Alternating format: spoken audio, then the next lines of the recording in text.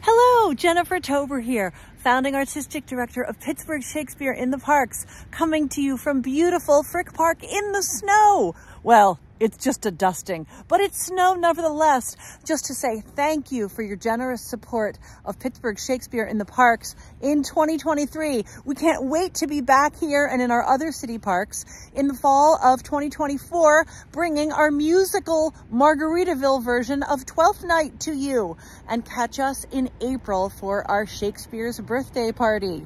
Thank you so much. We couldn't do it without you and see you next year.